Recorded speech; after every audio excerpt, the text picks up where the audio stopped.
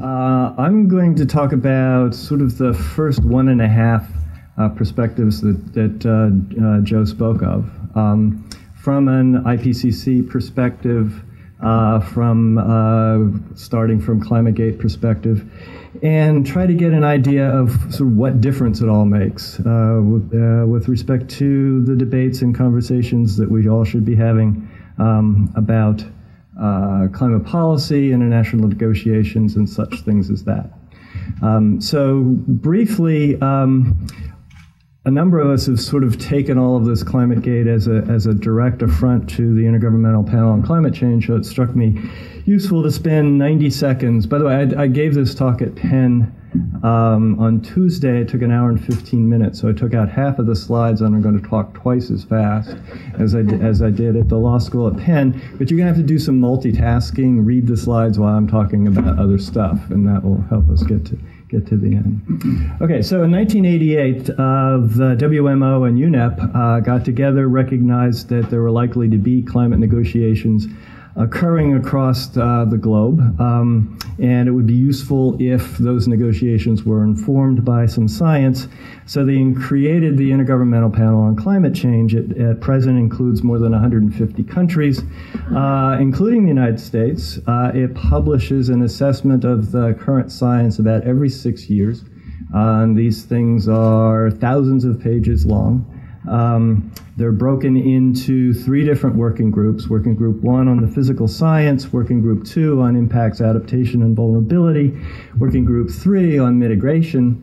Uh, and then there's a synthesis report uh, where a couple of people are selected from each of the working groups to try to sit down and turn 2,500 pages uh, into 20 pages that uh, a head of state might be interested in reading. Um, there is an enormous review process that is undertaken as these assessments are created, and part of the discussion about ClimateGate has to be about what the review process is, how it works, and why it apparently failed in a couple of cases.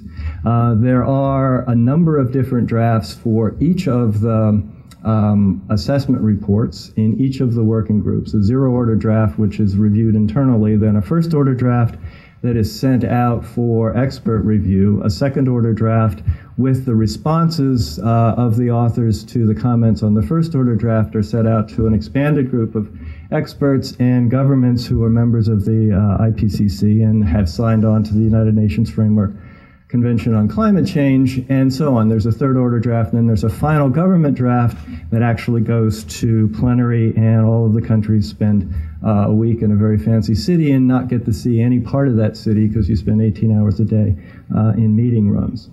Uh, for the fourth assessment report, the AR4, as it's known, there were 2,500 different reviewers that provided 90,000 comments, plus or minus two or three, uh, for 44 chapters in the fourth assessment report. And each comment had to be responded to by the authors. You had to record on a particular document what you did with that comment, whether you accepted it, thought it was, was lousy, or included it in the discussions and uh, moderated it, um, included it into your evaluation of the confidence of a conclusion uh, or whatever. Uh, each one of those comments in the response is documented on a website that's open to anybody who wants to look at them. Uh, each chapter has two or three review editors. They go through chapter by chapter individually, uh, one comment at a time, make sure that they're satisfied that the authors have responded to those comments. And in fact, they have veto power. If they don't sign off on a chapter, it doesn't go to publication and doesn't become part of the discussion for the summer for policymakers. In the AR4 and Working Group 3 on mitigation, there was actually one chapter where a friend of mine from Stanford actually stood in the way of its going forward for about six weeks and actually prevented them from making a really serious mistake. Finally, there's these summaries for policymakers for each of the working group, and then the synthesis report, um, which try to bring it down, as I said, to about 20 pages and in plenary in front of all of the countries who are members of the IPCC and therefore signatories of the Framework Convention those summaries for policymakers are approved unanimously, word for word. And it takes five days, 18 hours a day, contact groups breaking out and stuff like that. It just is an enormous amount of, of work. And all of the countries have all of the comments in front of them and they take ownership of the ones that they sent in. So it's really hard to sort of slip, slip something past uh, that particular group. Okay, so that's the review process. A little bit of quick history about what ClimateGate was. On November 19th of last year, there were rumors that somebody had hacked into the climate research unit of uh, the University of East Anglia. On November 20th, uh, the university confirmed that that had in fact happened. By November 23rd, the skeptics were saying that this meant that all of these um, emails back and forth, a couple of them meant that the data were being manipulated, uh, and they called for an inquiry. Uh, November 25th, plus or minus, uh, that's in sort of gray. Senator Inhofe had been saying it for many years. That's sort of uh, three or four months is as long as he could go forward from November to March of 2010. But for several, four or five decades before that, he's been uh, um, saying that climate change isn't a problem, and he said that these emails uh, made uh, cast a doubt on uh, the science as a whole, and indicated there's absolutely no need at all for the United States to be doing anything. December 1st, Phil Jones, who was director of the Climate Research Unit at East Anglia, stepped down. Uh, on December 3rd, the Saudi negotiator to the Copenhagen meetings that were coming up uh, said that uh, the emails proved, because of the, of the conflict about what was in them, that humans were not the cause of climate change, and therefore there wasn't any need for the globe to do anything. On December 3rd, also was a busy day, East Anglia started its own inquiry. Uh, on December 4th, the chair of the IPCC, um, Pachauri, uh, said um, this matter cannot be uh, swept under the rug uh, and that we needed to address it. Also on December 4th, Working Group 1, which is on the physical science and where the, where the hacks uh, actually were focused, um, said they stood by the conclusions. Also, a, a fairly well known skeptic, Roger, Roger, Pielke Sr., who is not to be confused with his son, Roger Pielke Jr., um, said that uh, he was still convinced that warming uh, was happening, but he really thought that because of the, of the disagreement about uh, surface temperature, we should be tracking ocean temperatures because they're less, less sensitive to climate variability from year to year and decade to decade. So a couple of, of the email caught my attention with respect to IPCC, and I wanted to highlight them. Uh, this is from coverage of the of the break-in in Science magazine. Um, in 2004, um, Phil Jones um, was uh, writing to uh, Kevin Trenberth at uh, National Center for Atmospheric Research, saying there were at least two or three papers by this guy McIntyre um, and a few others, co-authors, that really didn't deserve to be published. They were published in peer-reviewed literature, but he thought they were terrible, and he should, uh, where they should work together to keep them out of the fourth assessment report.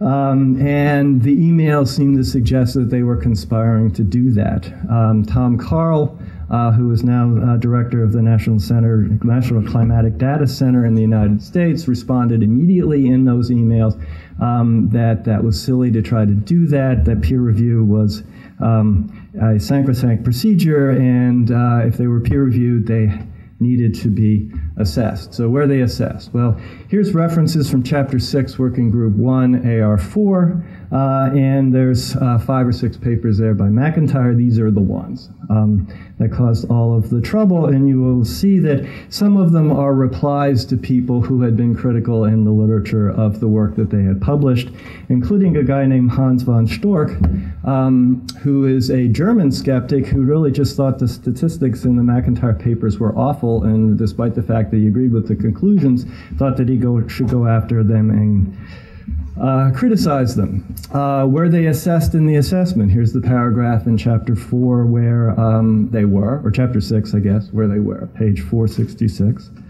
Um, were the comments um, that were located by the uh, in, in, the in the in the review process uh, directed at those papers recognized. Well, you can go on the web if you want to by, your, by yourself. Here's the website.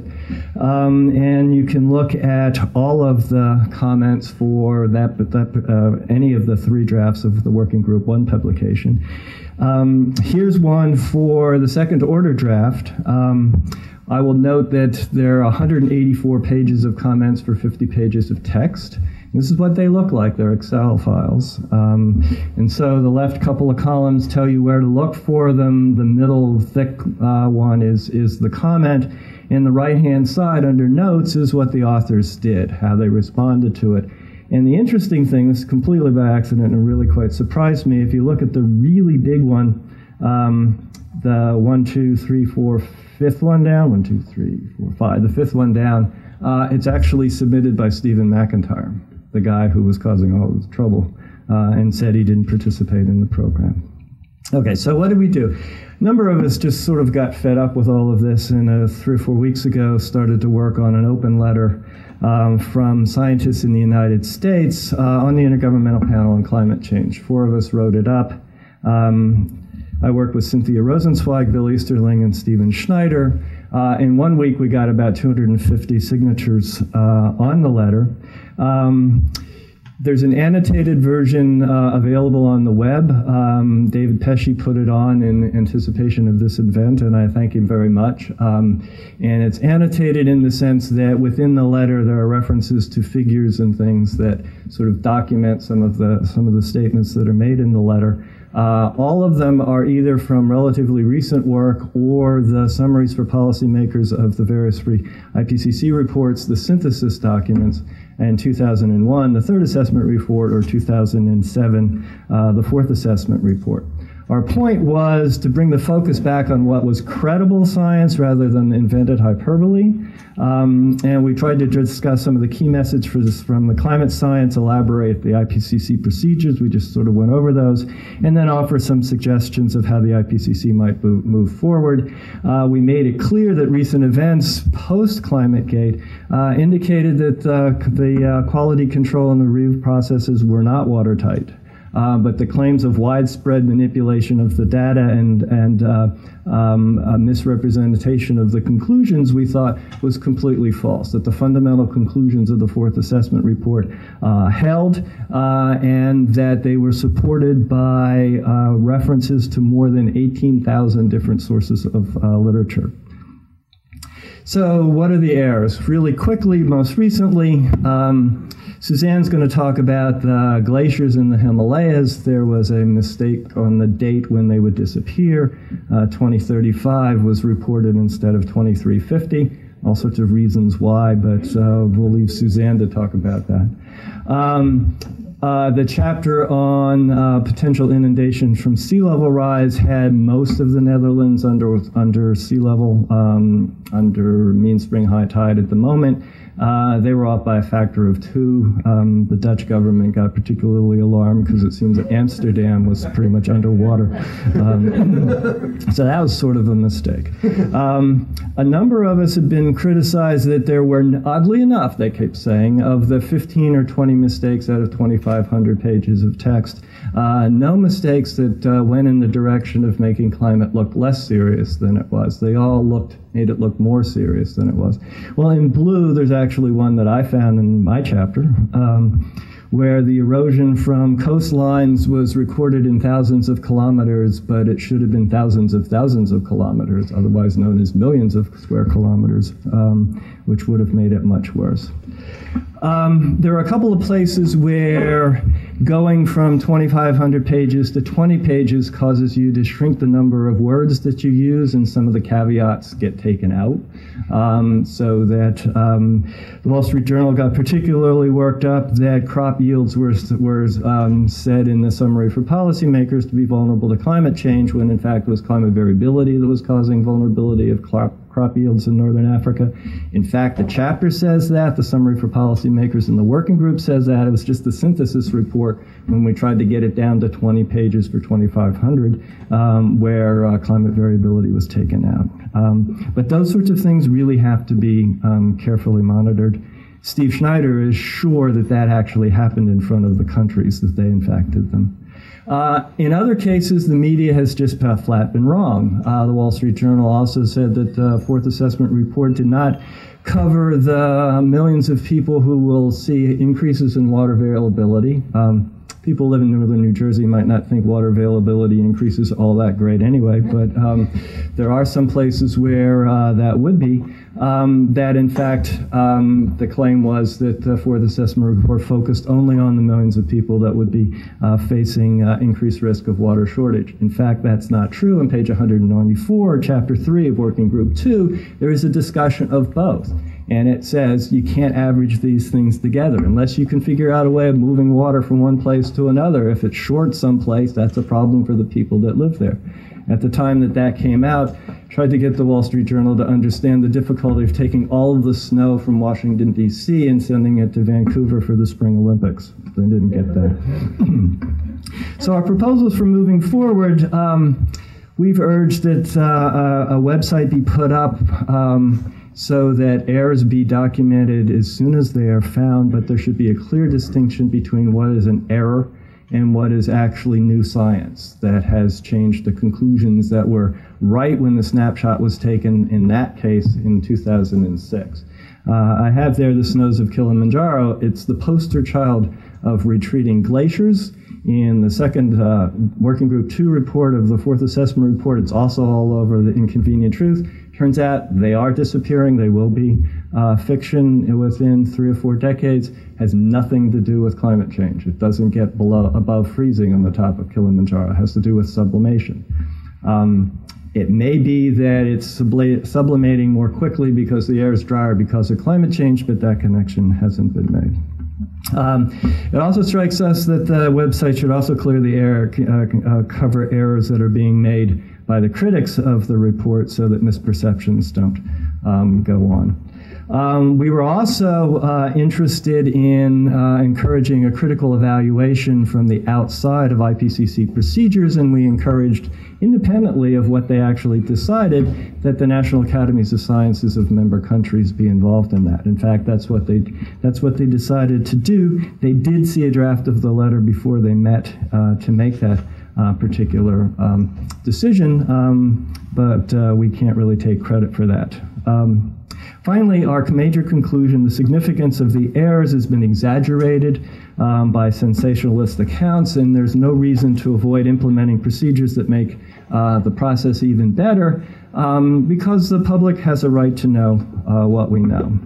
So, what do we know? What are the three or four major conclusions?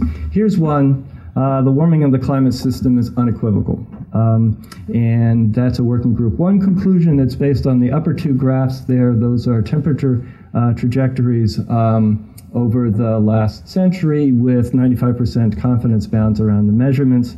If you sort of look at the left hand side and the right hand side, you can see the 95% confidence bounds don't come very close to each other. Um, so it wasn't it was wasn't even just very likely. It was unequivocal that it's warming. Um, it's also a long-term trend. This is actually from Jim McCarthy's paper in Science in January.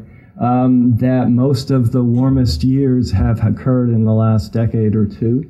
Um, that's a long-term statement uh, that's uh, really can't be un- really can't be refuted, and it's reflected there as well.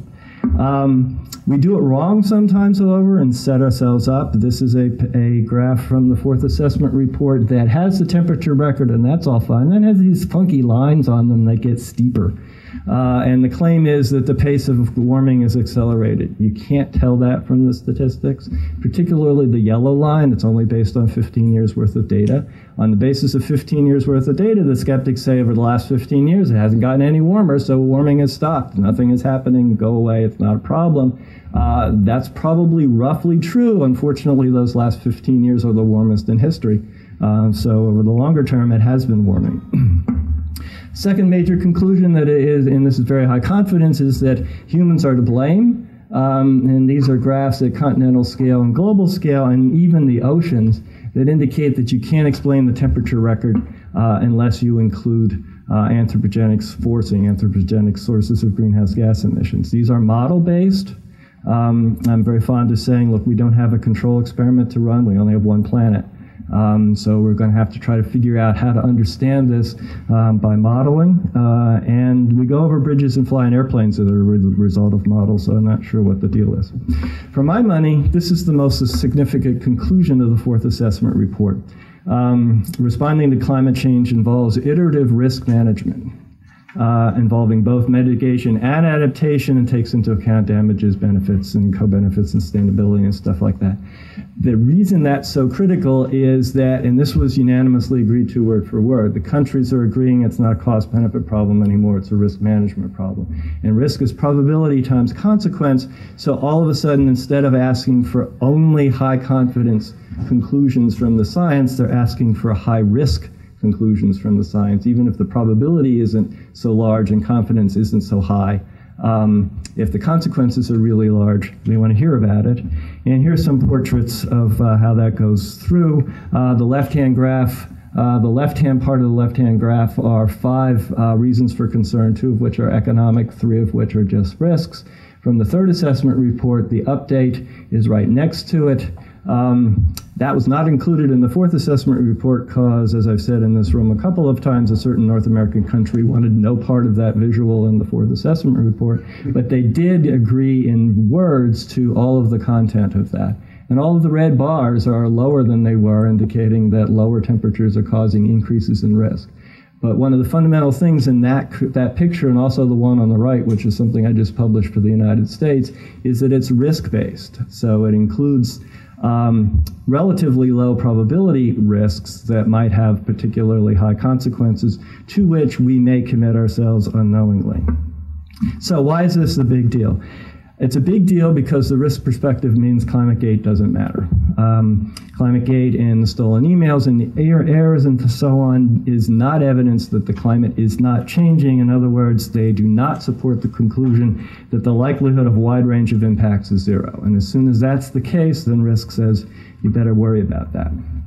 Um, thought you might like 45 seconds of the responses that we've gotten um, to the letter from around the world. Um, some people claim it's bogus because economists and other social scientists, like scientists like Joe, who signed it, uh, can't be counted as climate scientists because uh, you don't do climate modeling.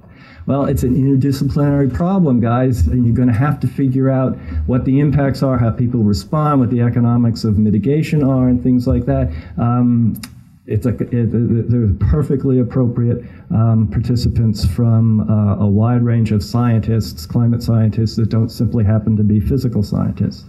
Uh, a lot of people said the letter is biased because nobody who participates in the IPCC get paid. We're all volunteers, so if we're volunteering, clearly we've we voted with our feet that we agree that this is a problem.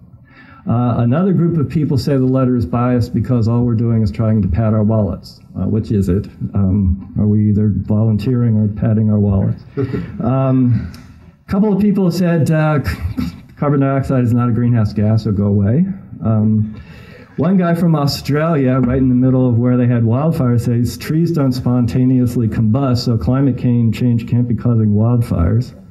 Um, and two bits of news for the hacking.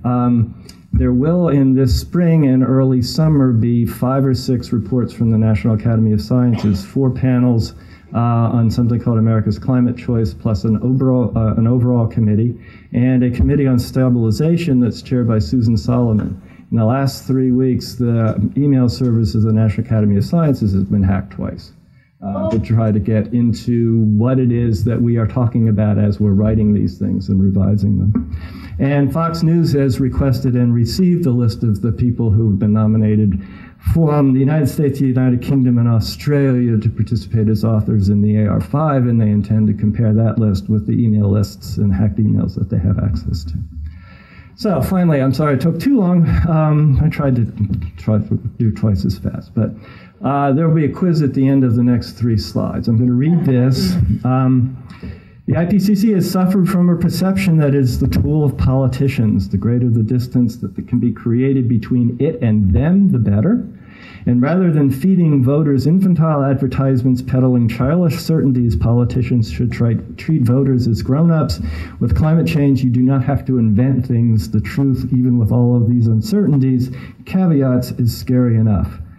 For example, using the IPCC's assessment of probabilities of the sensitivity of doubling of carbon dioxide um, as uh, less than 1.5 degrees has perhaps a one in chance of one in 10 chance of being right. The IPCC were underestimating by say a factor of five, that would still give you only a 50-50 chance of having a relatively desirable outcome. So as a result, the fact that the uncertainties allow you to construct a relatively benign future does not allow you to ignore futures in which climate change is large, and in some of which it might be very dangerous indeed. This is my emphasis. Uh, the doubters are right that uncertainties are rife in climate science. They are wrong when they present it as a reason for inaction. So the exam question is, where did those lang- where did that language come from?